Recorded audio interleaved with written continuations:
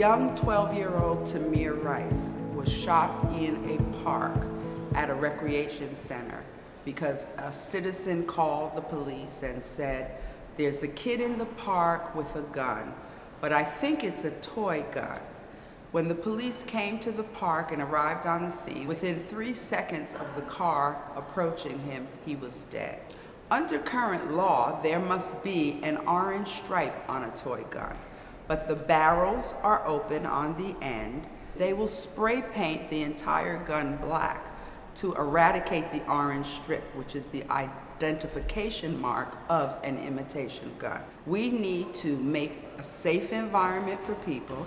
We need to make a, a safe environment for law enforcement by imitation guns having to have closed barrels on the end, identifying stripes on both sides, and the bill requires that there can be no toy gun sold in New Jersey that is either black, blue, silver, or aluminum because they look too much like the real thing.